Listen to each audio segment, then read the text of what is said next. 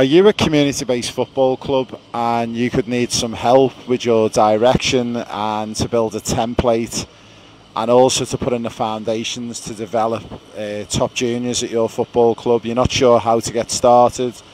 You might be seeing a high turnover of coaches, of technical directors. Well, my name's Raymond, Raymond Wood at Euro Football Star and we actually have an offering where we're supporting community clubs all around the world with a $1 million giveaway. And included in that $1 million giveaway, we've got what's called the Football Blueprint.